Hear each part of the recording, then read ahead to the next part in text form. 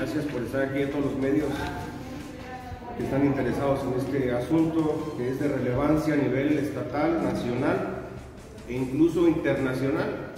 Al haber sido Leonardo Reyes, un migrante asesinado por elementos estatales de la policía de Guanajuato. Nuestro comunicado dice lo siguiente, caso Leo Reyes, una nueva oportunidad para la justicia. Hace tres años, nueve meses, Leo fue ejecutado extrajudicialmente por policías estatales en la ciudad de San Miguel de Allende, Guanajuato.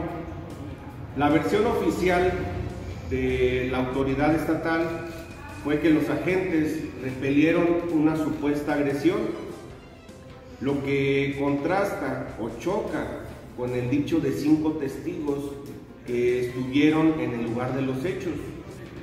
Esos testigos, cinco testigos, eh, mencionan que Leonardo Reyes se encontraba con vida. Esos testigos se escondieron en los matorrales y fueron testigos de cómo agentes de las fuerzas de seguridad pública del Estado acomodaban la, la escena o el lugar de los hechos. ¿Cómo acomodaban? Pues disparando, moviendo los vehículos, acomodaban toda la escena, todos los indicios los movían. Esos testigos están, eh, ya declararon en la carpeta de investigación respectiva. Y esa declaración de los testigos es lo que trae consigo la recomendación histórica que se logra eh, en el estado de Guanajuato por parte de la Procuraduría de Derechos Humanos. Y la Procuraduría de Derechos Humanos precisamente emite diversas recomendaciones, tanto a la Fiscalía General del Estado como a la propia Secretaría de Seguridad Pública del Estado. Esa recomendación histórica que hace la Procuraduría de Derechos Humanos fue que efectivamente dice que a Leonardo Reyes se le dejó morir por parte de los agentes estatales. Hubo ese uso excesivo de la fuerza por parte de, los agentes estatales. Además de que precisamente no se le brindó la asistencia médica a Leonardo Reyes cuando pues, había sido herido de bala. ¿Por qué? Porque como lo digo, se le dejó morir. Se le dejó morir a, Leonardo por parte de los policías estatales.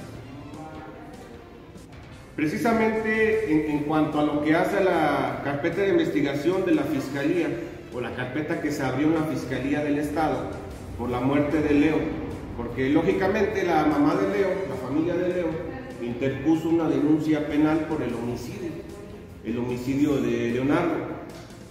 Y en esa investigación ministerial, el Ministerio Público decidió archivar la carpeta de investigación, a pesar de que en la carpeta de investigación existen múltiples contradicciones por parte de los policías estatales. Esas contradicciones pues son claras en unos decir que persiguieron a Leo y que se bajaron de la camioneta, otros dicen que no se bajaron de la camioneta, hay muchas contradicciones. Es por ello que el Ministerio Público dice que hubo una legítima defensa por parte de los policías estatales y decide archivar la carpeta de investigación.